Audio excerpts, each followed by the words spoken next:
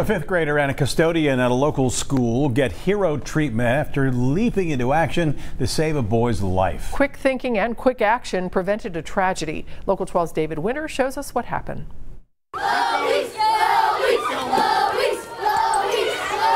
A young man today getting a lot of notoriety and pats on the back for surviving a choking incident that could have taken his life.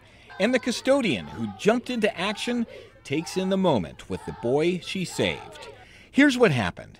It was about 12:15 p.m. The 5th graders at Cherokee Elementary in Liberty Township at lunch when Brayden Robinson noticed something was wrong. I saw um, my friend out of the corner of my eye and he was doing the sign and um, then I thought he was choking so I ran over here and then and then I said Miss Donna, he's choking. So what do you do? Where's he at?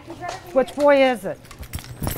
And then I came over here and I picked him up and I started doing the Heimlich removal on him. And uh, I did it three or four times real fast. I laid him back down, made sure he was all right. Then I seen that he wasn't doing well, so I picked him back up, repeated myself, and then he finally choked it out. EMTs were on site within minutes, taking the boy to the ER for observation. ERs treat 12,000 children 14 and younger every year from choking. At least one child dies from choking on food every five days in the U.S. But thanks to Miss Donna and Brayden, Luis would not be one of those statistics. Yeah, I'm glad I reacted quickly. Um, I'm, I'm, yeah. Do you consider yourself a hero? Kinda, yeah. Does that make you feel good? Yeah. Brayden, he's like a very kind, responsible kid, and I know he would do anything to help someone. He is safe and happy, and we're so proud of Miss Donna and the students and staff who reported it immediately and responded appropriately. Yay! Yay! And while it's back to work for Miss Donna, it's back to work with a little extra gratitude and pride. You know, I'm so thankful that um, this young boy, Brayden, was gave me the opportunity to come over to rescue this little boy.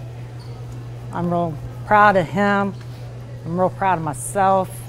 I would do it over again and over and over. Boy, that young man, he is so lucky. Incidentally, he had been choking on a snack chip. Such a great story. Miss Donna, she was not even supposed to be working yesterday's lunch. She's normally a night custodian. She was just filling in for a coworker who had called in sick. Right place at the right time, thankfully. Yeah, great story, David. Thank you. And choking is the fourth leading cause of accidental death in the U.S., with 5,000 people dying annually.